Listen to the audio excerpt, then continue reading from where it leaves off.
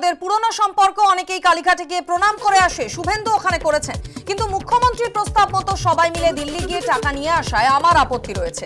ওই টাকা আনা হলে মজ মাস্তি হবে। বিধানসভায় মমতা শুভেন্দু সাক্ষাৎ প্রসঙ্গে ইঙ্গিতপূর্ণ মন্তব্য দিলীপ ঘোষের। সৌজন্যবোধ আর কথাবার্তার মাধ্যমে সমস্যা সমাধানের চেষ্টা, এটা থাকা উচিত, হওয়া উচিত। কিন্তু তাতে যে আহ্বান করেছেন মুখ্যমন্ত্রী শুনলাম, চলুন যাই দিল্লিতে দরবার করি টাকার জন্য।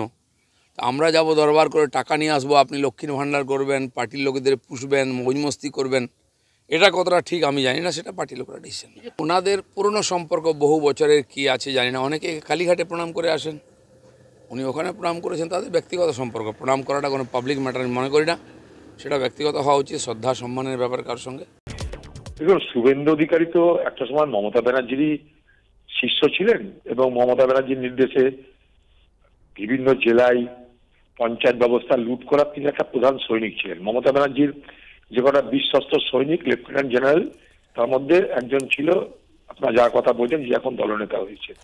এই মুর্শিদাবাদ, মালদা, দিনাজপুর, সমস্ত পঞ্চায়েত লুট করা, নির্বাচন হতে না দেওয়া, মনোনয়নপত্র পেশ করতে না দেওয়া, পুলিশকে ব্যবহার করা কংগ্রেসের সাধারণ কর্মীদেরকে মাদক কেসে গ্রেপ্তার করানো, এসব নানা কীর্তি কাহিনী মমতা ব্যানার্জির নির্দেশে তার লেফটেন্যান্ট জেনারেল শুভেন্দু বাবু এই বাংলায় করেছেন, এটা সবাই জানে। তাই দিদির যখন শিষ্য ছিলেন তখন প্রণাম তো নিশ্চয়ই করেছেন। কিন্তু কথা হচ্ছে যে সেটা এখন সে অন্য দলে করছে, সেই দলের পক্ষ থেকে তাকে কি পরামর্শ দেবে সেটা তাদের ব্যাপার।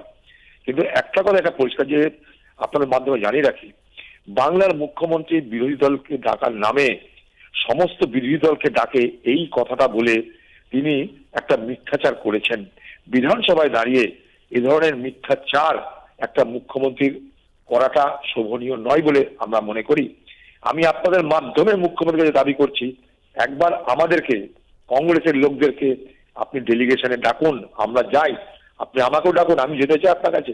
অনেক কথা বলার আছে, আপনার ডাকার ক্ষমতা নেই। আপনি এখানে কোনো মিটিং করতে দিচ্ছেন আমাদেরকে। সরকারি মিটিং আপনি করতে দেন না, কারণ আমি সেই সরকারি মিটিং এর চেয়ারম্যান বলে।